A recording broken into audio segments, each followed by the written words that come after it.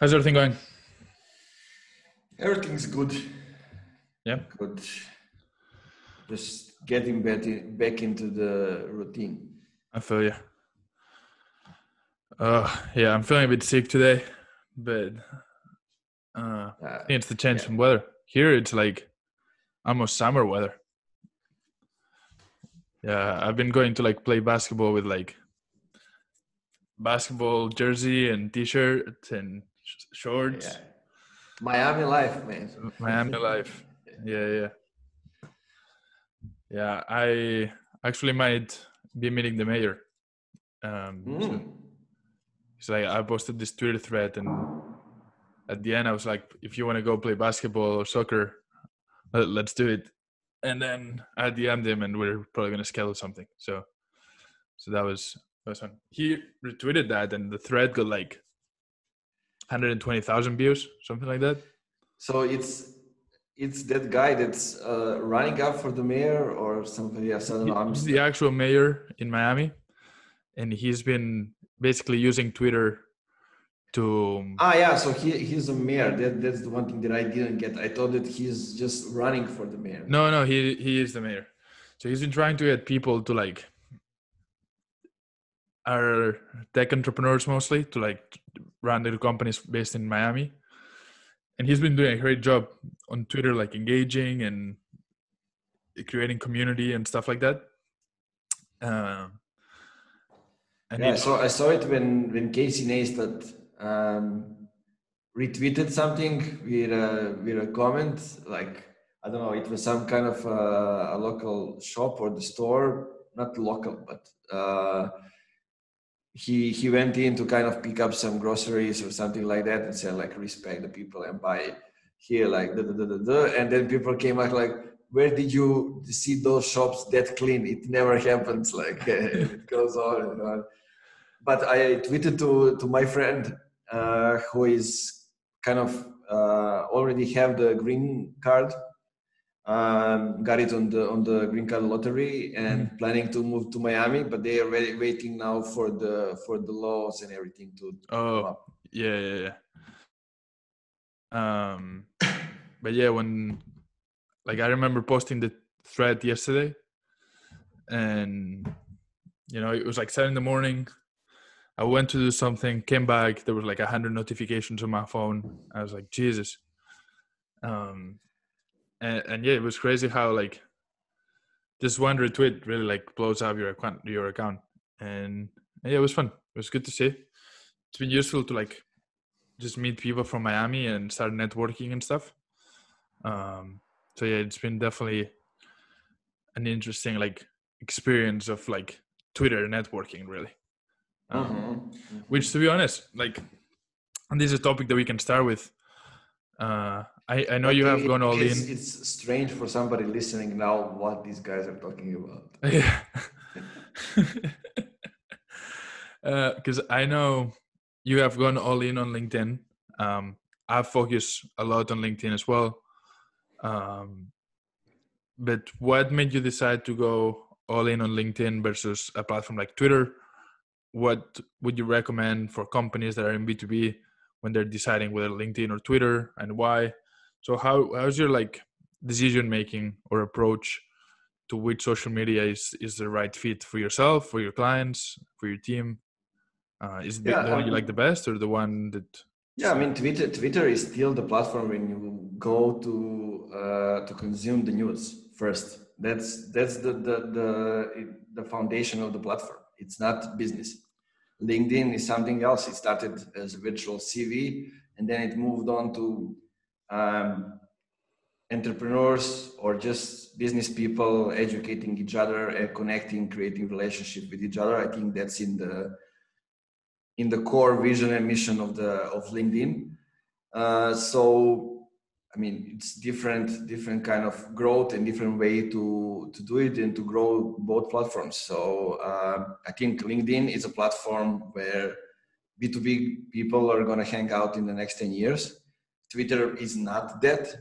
It can be used for marketing. It can be I mean, I, I see it uh, having a best use as, as a platform for the company that um, has customers and it's big on customers experience, especially in the B2C, uh, when they can get feedback of the customers. Customers go to LinkedIn to uh, complain about things and to call out the companies that are doing bullshit practices.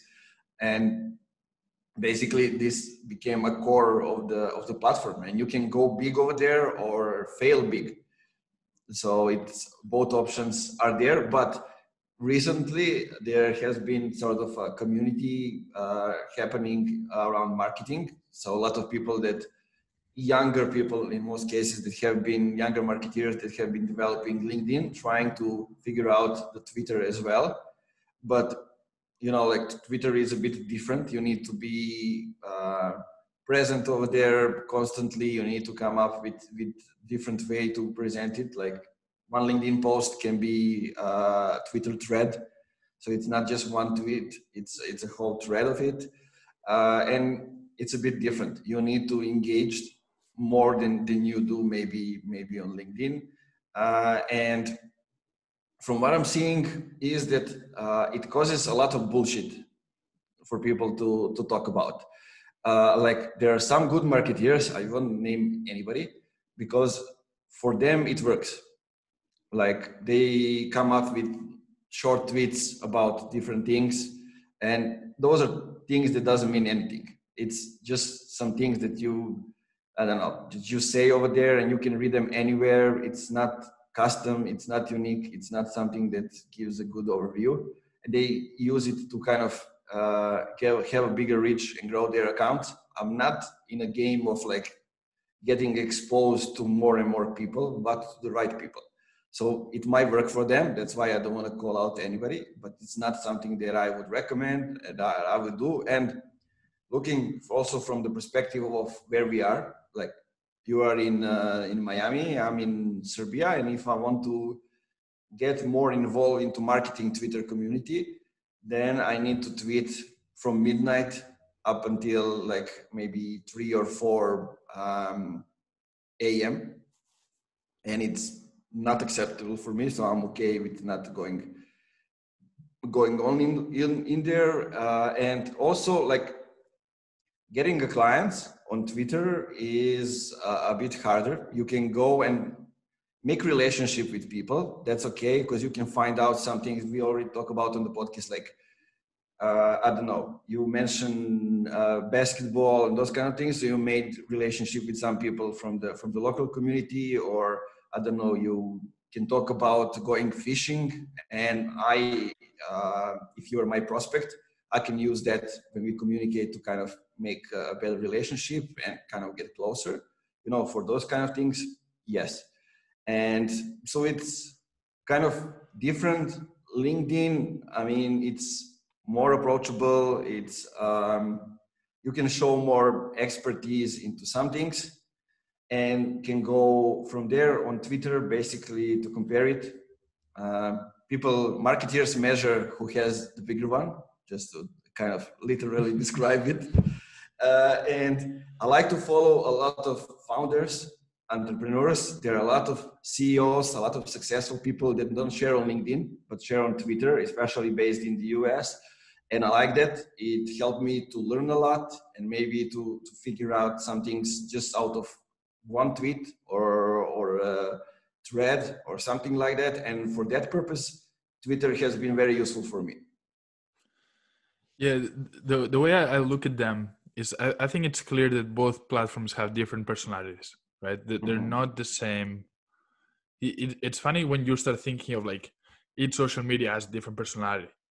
Right? Like Twitter has one, LinkedIn has a different one. LinkedIn I think is more professional. It's a bit more to a higher standard of how you represent yourself. There's less shit posting. I think it's called. Um, I think we just don't see those posts. Probably. Like probably. if if I get into the Serbian LinkedIn, oh my, they, they, still call people dear connections. Jesus. So, um, and, and, I like both, right? I like uh, the way I, I'm approaching it in in 2021 is LinkedIn is going to be very business focused for me. Uh, what I mean by that is that I'm either be talking about stories or B2B thought leadership, personal branding. So I'm not going to go too far of my main area of expertise. One thing that I'm trying on LinkedIn, and you're going to start seeing it soon, is I'm going to have written 30 stories that have very little to do with personal branding and thought leadership. There might be some about running the business, but there are some about personal stuff. And for a month, I'm going to publish one story a day. Um, I don't know how that's going to go and, and and turn out, but because some of them don't have anything to do with business, and I'm worried that it's a bit too Facebooky or, or too like transparent. Obviously, it's not going to be cat videos. It's going to be like personal stories that turn into a lesson for me. Uh, so I'm going to try that for 30 days, see how that works, and after that, it's going to be a lot more B2B focused content. Um, when it comes to Twitter, I'm approaching it differently. I, think the way I'm approaching it is on LinkedIn. Obviously, my main goal is to get clients. That's why I'm focusing really much on on my core area of expertise. On Twitter, I'm approaching it in a different way. I'm approaching it with the main goal being a networking, so building relationships with people. And I think to do that, obviously, uh, there's going to be some business content and and B2B content, but I want to try to like open up my areas of content creation. So I have created a mental map, a mental image of what I like to write about, right? Um, and for me, it's obviously personal branding, but then basketball, there's uh, music, there's politics, and then there's stand up comedy. So those four topics for me are like uh, personal topics that I want to talk about, and I want to build relationships with people on those areas. Um, so I'm going to be writing three, four threads every week about those topics and connecting them to personal branding or thought leadership. So, like a few examples, and I, I have them here, so I'll just put it up. I'm just opening like my strategy for the year, just so like if people listening, maybe that triggers something. But for example, the first one was the mayor of Miami and social branding politics, right? And, and I tagged him. He retweeted. We're probably meeting with the mayor of Miami soon. Uh, another one I have is like how Nike and demand generation's campaign of if you have a body, you're an athlete. It's one of the biggest or, and best demand generation campaigns in in marketing history. I have ones about um, the some about podcasting, some about Donald Trump and how he branded himself on Twitter. So it's just showing the expertise of content and, and branding and storytelling with the main areas outside of work that I like and kind of bringing everything together. Um, so the KPI for me is like building relationships. So I'm going to be doing a lot of more engaging and DMing. And then on LinkedIn, the KPI is getting clients. So I'm going to be more core focused. Um, that said, I, I really believe in the future of LinkedIn. I think LinkedIn is going to have the next four or five years is going to keep growing and hopefully I think the platform is just mismanaged. Like it sucks, but the people in there are so good. Um, and Twitter, it just like a good platform that I enjoy personally. So I, I don't know if I'm going to get out of that. Uh, but when companies are creating content, I think they do need to make sure that they understand the nuances of each platform and how they have different personalities and the content has to be a bit different. So obviously you can repurpose some of the stuff, but then there's some content that you just cannot or should not repurpose, in my opinion. Yeah, it. Uh, I mean, Twitter is my favorite platform still, since ever since it started. I think I'm on Twitter since 2011, and uh, like there's an active community in Serbia and people who actually knows their shit, not only in business but in politics and some so sports especially. Right. Uh, but like I like it because it it uh, demands of you to be present over there. Right. That's you just like schedule post. It doesn't work on Twitter, so it's it's it's it's different. And yeah, man, I, I like the I like the strategy. I like uh, how you how you plan things, and looking forward to read to reading the stories. Yeah. Have you um, kept an eye on what's happened with Reddit and the stock market? No, no idea what's happening. Really? Oh, you, Yeah. you need to look after the um, after the episode because I was gonna talk about you with about like Reddit, social media, and like how niche those audiences are. Basically, just to like give you a, a two cents of like what's happened. Ah, yeah. I mean, I mean, I know, I know Reddit. I know how it functions. yeah, yeah. But, yeah. So, um, I don't know how much you know. I didn't know much about the stock market, but in the stock market, you can bet that uh, stock is gonna go lower. So instead of like buying it for that so that it goes high, you can bet that it goes lower. So you make money if the stock gets devalued versus if it goes higher, which is the usual way. Um, the problem with that is that one, you can make a lot of money, but you can lose a lot of money because the stock can always go higher and higher, and then you have to pay for that price because you bet that it was going to go lower. Um, and one of the biggest hedge funds, called I think Melvin, um, I think they're best in New York, they uh, shorted the stock of GameStop, which is like a store in the United States that sell used to sell video games. Obviously, this it's not doing very well because it's a retail store, brick and mortar, and they're about to they were about to lose their business. And then this Reddit community found out that this hedge fund was shorting, and they all got involved into buying the stock and getting it higher. And the stock has gone high like I think fifteen thousand percent in like the last two or three days, and uh, their hedge fund is about to go uh, foreclosed. So they're going to close the hedge fund because they have lost. I believe they've lost like seven billion dollars because this Reddit community started buying it. So it was interesting to see the power of social media, right? Because obviously, their the reason behind it was not just to make money, but uh, people wanted to like say "fuck you" to the system in a way, uh, and they kind of played their own game by manipulating Wall Street. Um, so it's interesting to see how people are one how niche down certain communities and how engaging they are, um, and two how they can create these viral movements, especially when they have like social political background on them, um, in order to like protest and in order to like change things. Uh, but yeah, it's a very interesting story. You should you should check that check that out after. Mm-hmm. Mm-hmm. Yeah. So let let me just um, connect something with that. I just uh, it's on my that came to my mind while you were yep. talking about it.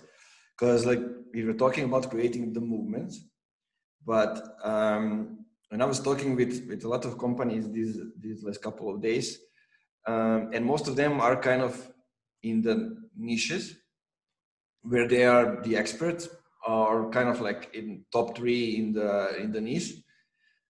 And all of them are figuring out the strategy for for social media mostly for mm. for linkedin.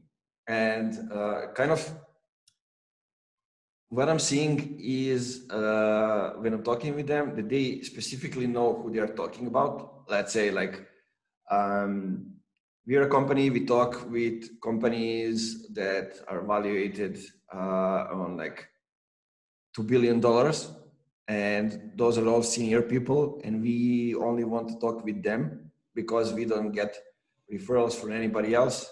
Only they, they are making decisions and this is the content that we want to do. And this is what we want on the social media platforms. We want to, to look and act as a billion dollar company because those are the companies that we are talking with. Um, on the other hand, they don't think that uh, maybe they, there are other people influencing decision making. Uh, and they are kind of thinking of if they should uh, invest in educating the market because they are top three companies over there or kind of educating the niche because those things that they are doing not many people are talking about let's say on LinkedIn. So how do you see the situation? What would you recommend? Uh, would you go broader or would you fix your tone of voice and everything just to the to the senior people or like i'm interested in, in your thoughts on that yeah i mean i think i, I would approach it on a case by case scenario right uh, i don't think there's a one answer that uh, fits all um, I think building a movement is harder than it looks, right? Like I, I think people think of like this overnight movements and they think that they can replicate that and it's really not that easy. Uh, so I think especially as as a marketer, we tend to have like um, I don't know how Americans call it, but not everything that looks like a nail needs a hammer. I don't know if that makes any sense at all.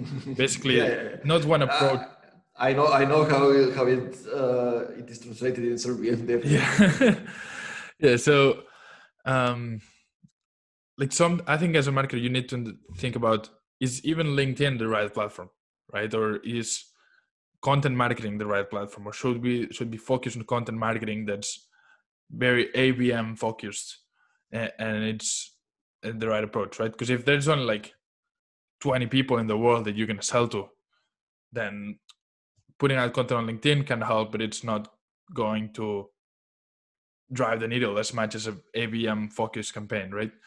Or, or even an outbound campaign. Um, obviously, I'm somebody that loves to create content and build a brand, but sometimes outbound just is a better fit for the client. Um, so I think the first thing I would do is try to analyze each situation, uh, see how big the target market is, see who the people are, um, and then focus on the low hanging fruit first, and then try to expand. Right? It's easier to like try to build a movement and go broader when you have already some money coming in and you have some good accounts that you've kind of like nailed first. No, like now we are talking about the companies that are top three in the in the right. So so they already have lots of lots of money in their plates, lots of clients, and they just wanna wanna expand it and kind of get to the top one. That's that's that's the game.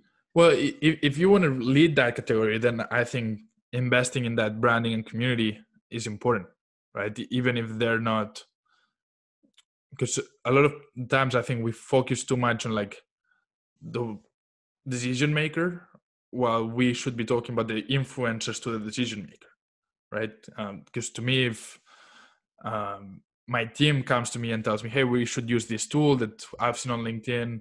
Can you check it out? Then i'll definitely check it out if it comes from an influencer on my team. Um, so i think sometimes we need to like go a level, a level lower and start influencing them. Um, but I do think if you're like a top three company and want to take that step towards the first uh, company brand, you need to do something that the first, the other two competitors are not doing. And usually people are doing outbound, they're doing ABM. So if you can like maybe do that plus something or diversify your content marketing efforts, um, you need to own that category by building a brand and building a community. So uh, obviously without telling you that i would always do that because it depends of the situation uh, for companies in that position it might be a good idea to really focus on branding and building that awareness yeah and also uh, i think important thing here is to, to say that you start building a movement by explaining one little thing inside the niche you're not building a movement by by going general and talking about general things I mean, right. it starts with a with a spark, like Bruce Springsteen says, right? So it starts with a with a spark, and then you you create the fire out of it. And um, in this thing, if they start with a niche and explain one simple thing in a simplest way that everybody can understand it, not only the senior people, but the others can actually understand it. That's how you you start everything. And um, it's kind of something that uh, a company that's already built some momentum and uh, got clients and moved to the to the top of the niche when they need to create the new demand. Basically they already got the demand that's that's over there and it's kind of interesting. The other example that i'm seeing uh, and it's kind of an interesting topic to, to talk about is um,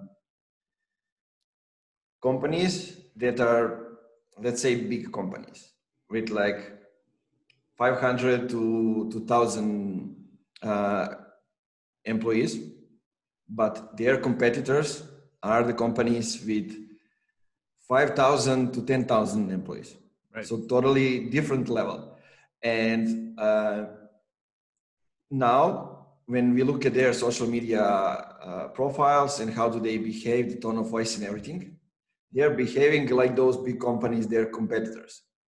you know and this is this is something that i'm that i was seeing a lot because like i've been doing less work and observing more.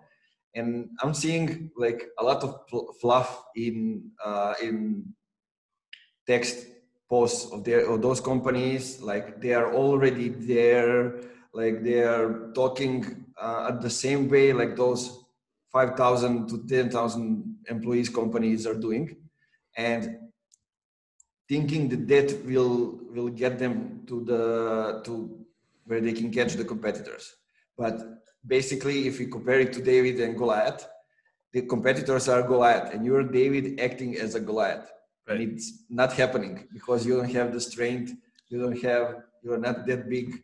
And it's a good point. something differently right? Yeah uh, i think that that happens mostly because one companies are not very good at creating a strategic narrative of like mm-hmm. who they are as a company and, and who they what's their message and what's their differentiators. Um, and also because people just want to look bigger than they are right? To attract more enterprise clients and all that stuff. Um, and, and if your goal is to be sustainable probably that will help. But if your goal is to actually become one of those larger companies and compete with them you're just not going to beat them at playing at their own their own game right? Uh, i think like just to make a basketball analogy uh, like if you're playing against taller guys and you try to play like a tall guy you're not going to win because they're just naturally taller. So you have to play to what your strengths are. Um, so when you're a smaller company i think you're quicker right? You can take more risks and take into sort of your, what your message is. You can make faster decisions you can implement changes faster you can you're closer to the customers there's less bureaucracy. So i think you need to use that and then create a strategic narrative that differentiates you. Um, I, I, was reading this article the other day of like th- companies say they want to be leaders of the market and all they do is compare themselves to their competitors instead of creating a completely new category and becoming an actual leader right and people talk about this yeah we want to build this category but all you're talking about is the rest of people in your in your competitive environment. So for companies that want to really be differentiated and be uh, full leaders i think it's important to talk less about your competitors and build your own strategic narrative right? That i don't think you should even acknowledge that there's other competitors. If you're really that special why are you talking about everybody else talk about what makes you special, but not don't even acknowledge the the other people who are in your field. Yeah, and, and talking about that, um, possibly showing why you are special. That's kind of the thing that's that's always right. missing. Like, okay, we are special, we are nice, we have the best people, but show the people, show the results, show what you are doing. And when we are mentioning the strategic narrative, I agree with you with what you said. Um, I was reading the tweets from Andy Raskin the other day. Yep. Uh, who's kind of big on strategic narrative. I interviewed him on my podcast. Yeah.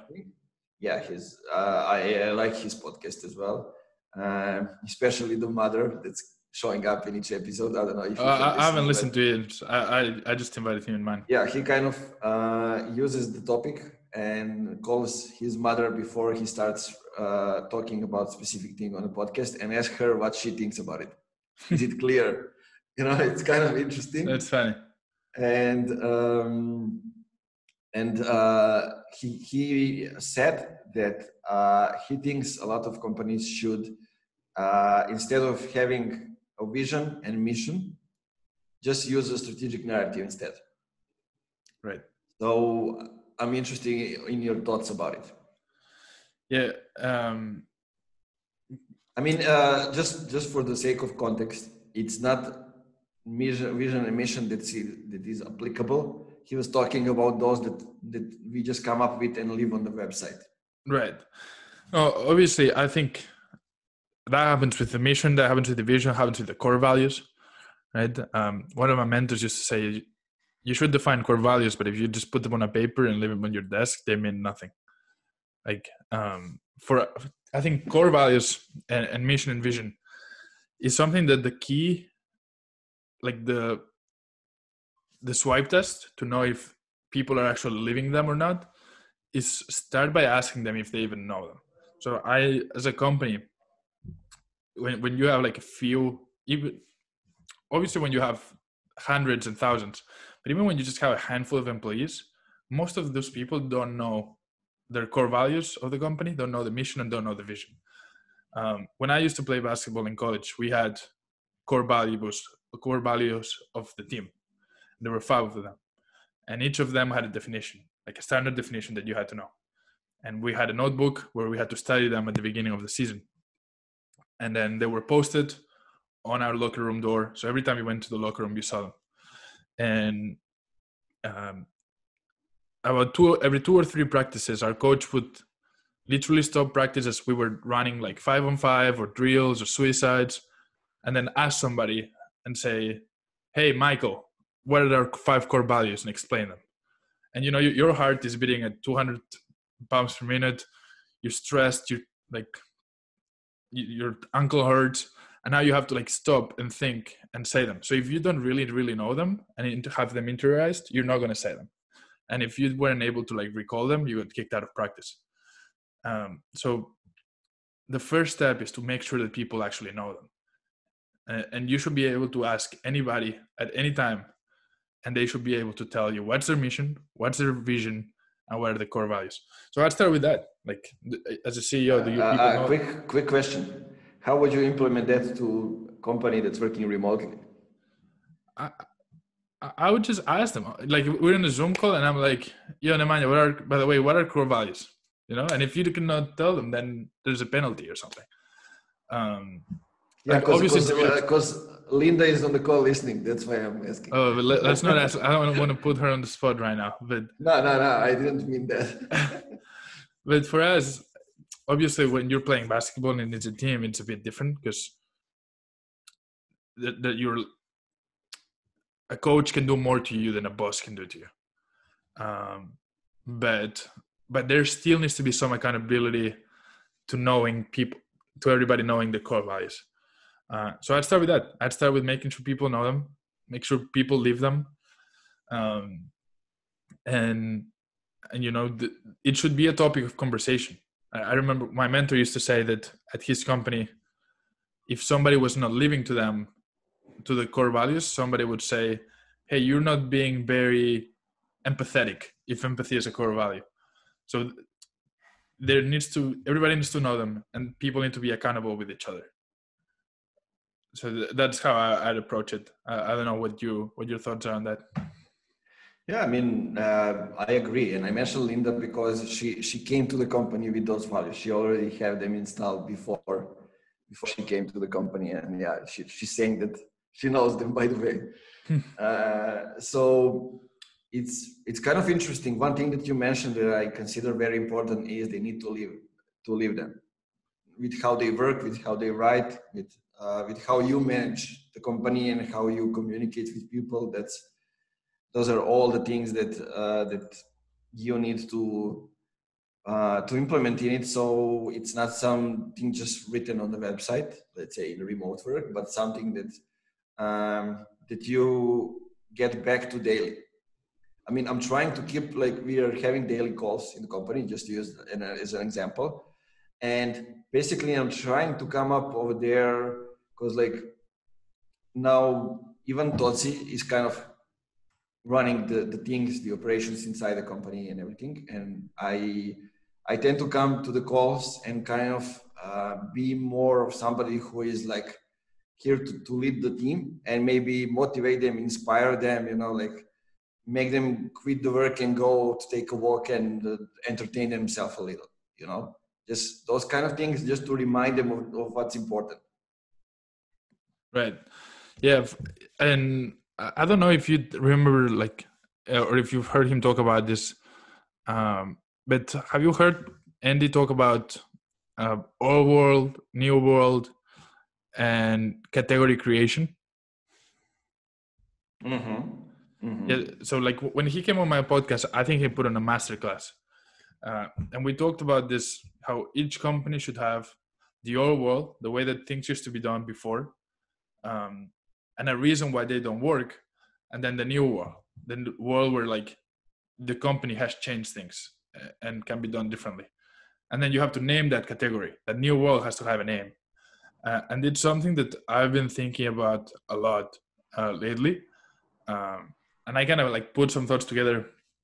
So for us you know like the way that people used to like brand their b2b ceos was through pr so pr was the old world. Uh, the problem with pr is one it was overly expensive. Two there were no guarantee of results three there was no really audience owning. It was all about asking for permission. Um, and four it was a sketchy industry. It was about who you knew versus who was actually worthy of getting recognition. Your content didn't matter uh, and you weren't really creating a direct line of communication with your target audience. You were always going through middlemen forbes inc whatever it was. Um, so i think in the new world the way you do that is through you know social media content and, and b- building your own content marketing machine on linkedin on twitter on medium on podcast on youtube and owning that distribution to your target audience without having to go through middleman. I, uh, I don't think you need forbes anymore. You can just write medium. You don't need a radio show. You can have a podcast. Uh, you don't need a tv show. You can have youtube.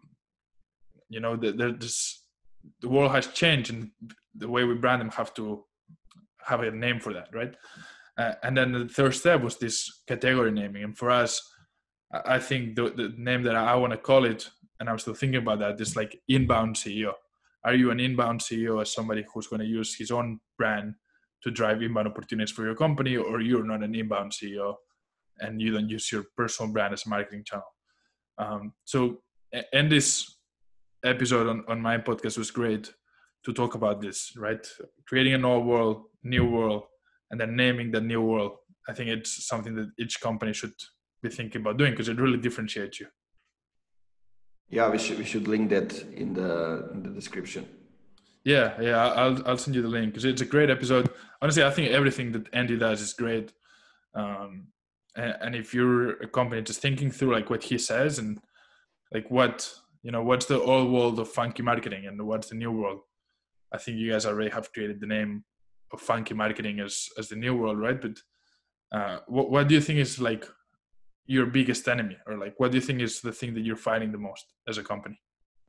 Yeah i mean there, there are two things. First one is b2b as it was. So without without emotions without feelings without creativity all misty, foggy, and companies talking about themselves, not caring about the customers, only showcasing their features, their products, and not really helping customers solve the problems.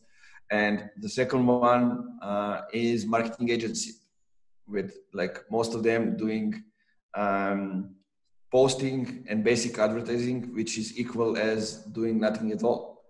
And those are the things that, that were happening. And now that's why like the, the name is also funky marketing doing something different differentiate not only ourselves but also the clients and everybody. Like i'm now telling everybody that start to work with us like we are different. We communicate in more simpler way. We we optimize things. Uh, as we go we don't come back to the to do the things in a different way if we already optimize them. That's a big one if you start to work with with companies that have uh, like all CEOs that are used to the whole company adapting to, to their way of work, you know, and those kind of things, and kind of changing the things, taking things which are um, specific for the B2C into into B2B and changing the industry, coming up with uh, with new things, showing things in a different way, uh, focusing more on, on, people, less on less on the products and on the features, but on the on the people and how those products and the features can help them accelerate uh, their business, their careers, whatever they're working at, and basically, basically that's that's it. I mean, uh, we, as, as you know, in December, like with Funky Marketing Top Voices, we yep. actually, I mean, you are one of them we actually try to amplify the people that are doing exactly that new world narrative in, in our way you know so yeah it just i think it, that is a good exercise to do right as a company because it kind of drives everything it drives your outbound messaging. It drives your website copy. It drives your content that you create. Um, so having clear enemy, right? And it, it sounds harsh, but like people really unite against a common enemy, and, and it's an easier fight to create. Um, yeah, I think it, a lot of it, D2C it, it, companies doesn't, do it. Ahead. it, it doesn't need to be like uh, something that's specific and unique and doesn't have to be like the competitor it can be facebook it can be google it can be all kind of different things It, it can be an habit. industry, right? yeah Yeah. Uh, it, it can be a, just a way of doing that you don't like.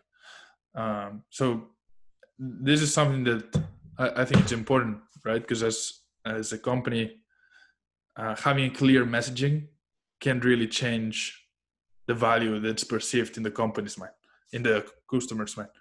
Um, so yeah, it's a good exercise to do, whether you're a marketer or whether you're just yeah like, uh, just, to mention uh, this is actually the things that i got really deep into it uh, with Playa on funky marketing podcast because they are developing the Wynter ao so the company that helps you differentiate. So we got really deep into that.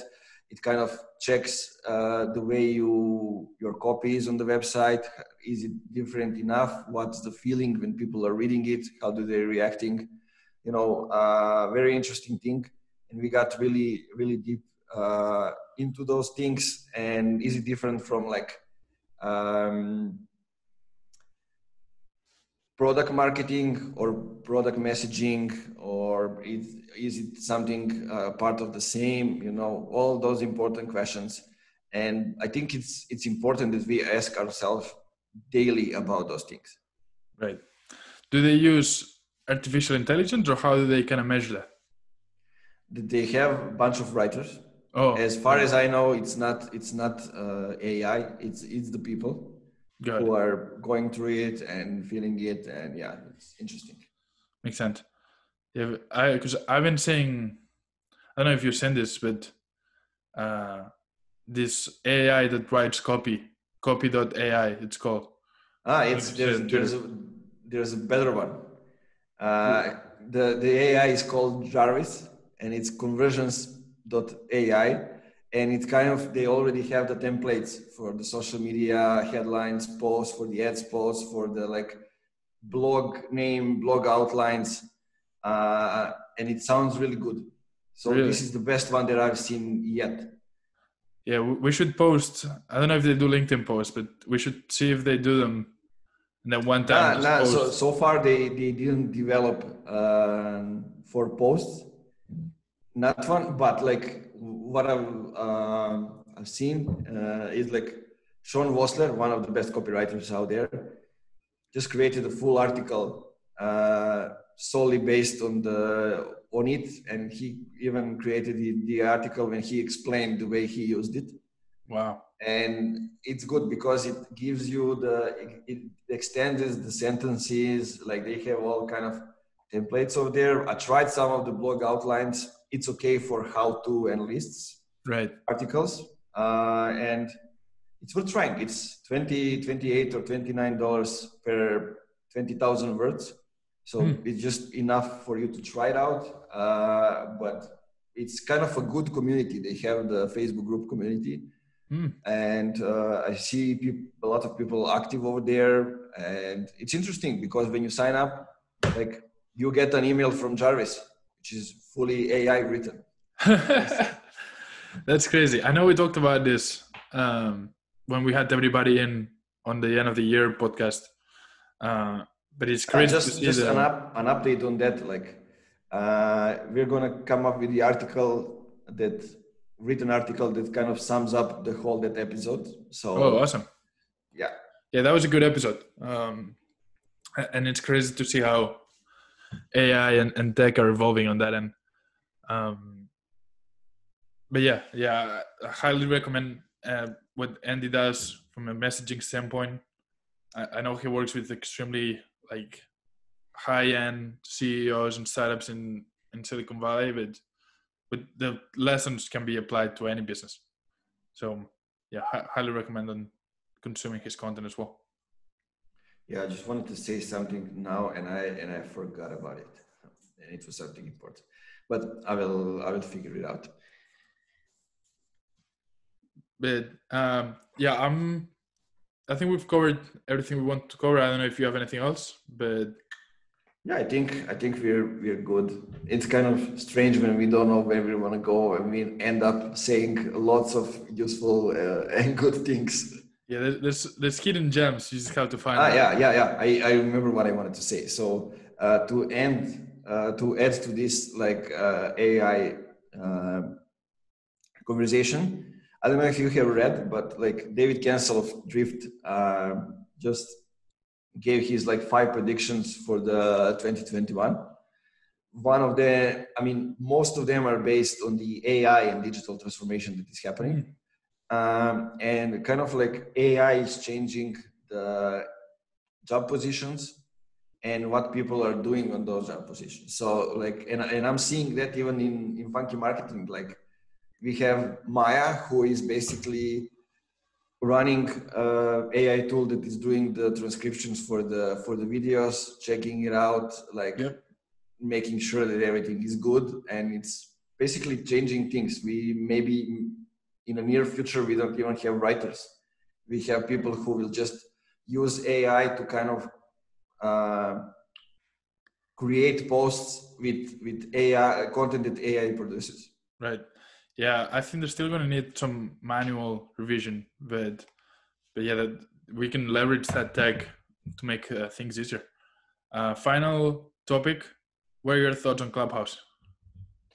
On Clubhouse, uh, it's good for uh, for like being Q and A. Let's say now when we are on on Zoom or some big conference, but besides that, um, nothing else.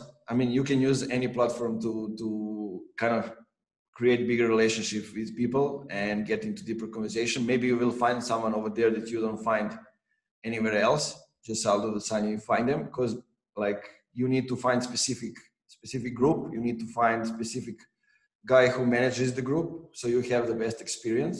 And as I'm seeing comments, because I'm not an iPhone user and I can uh, access it. Mm. So um, those are the things that give people the, the best experience over there. And I'm seeing people spending hell a lot of time over there. Uh, as on every platform, there are a lot of people talking bullshit. So, but it's something that's happening. Uh, anyway, uh, it's cool that the conversations are only audio and you don't have this kind of like uh, mirror effect or like need to prepare or something. You can walk and talk with people and you know those kind of things. And it's for me it's one thing that might be good out of it because there are people's people over there all the time right. So if you have a problem and you need somebody to help you like uh, solve it uh, if you have like the permission to to go ahead and join the conversation and bring your own thoughts that would be that would be great. Like that kind of help would be would be great.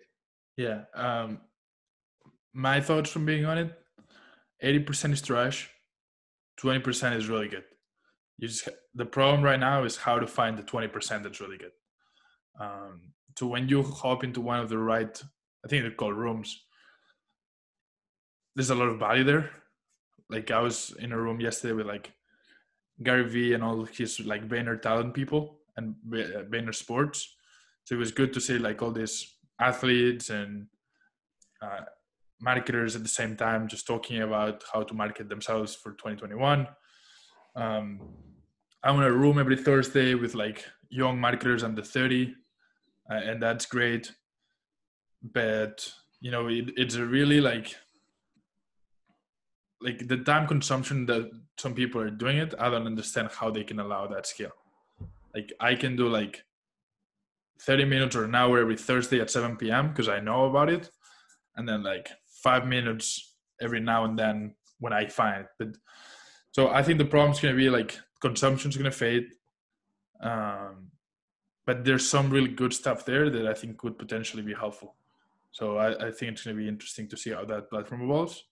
I think they've marketed really well. They have a good team on the back end. So um, it's crazy how we overcomplicate marketing and then it's as simple as saying only get in with an invite and then everybody wants to be a cool kid like yeah over- make it make it exclusive that's yeah like it, fucking marketing is common sense and human nature like just like you wanted to be one of the cool kids in high school we all still want to be cool kids and we say hey you only get here if you have an invite and it's exclusive and everybody wants to like get in there so I guess that, that's the whole lesson I'm taking out of Clubhouse. Just marketing is simple and don't overcomplicate it. Oh, it's it's always the one thing that I refer to when they ask me what are some things that you learn over the years. That's like simplify everything. Yeah, yeah, yeah. Even if it like, because our job as marketers is to like, or or we at least I guess we have our, our ego and we want to look like we have a very hard job that we have to do right but at the end of the day it's really not that hard and you can simplify it um, ah, i mean it's uh, you need to know what to simplify and how to right it. it is hard it just yeah. it's simple but not simple it's it's simplest i don't know simple but not simplistic or the other way whatever uh, but yeah I, I think that was it's a good way to end it unless you have anything else um, i have a call in five but this is all for me that's all. I think we I think we're good. Um, I don't know if uh, guys, if you have any any questions, feel free to drop them out during the week anytime, like so we can include them in the topics for for the next episode. And I think from now on we'll be we got there past everything like movement to the US, uh, holidays, COVID, everything. Now we can be regular with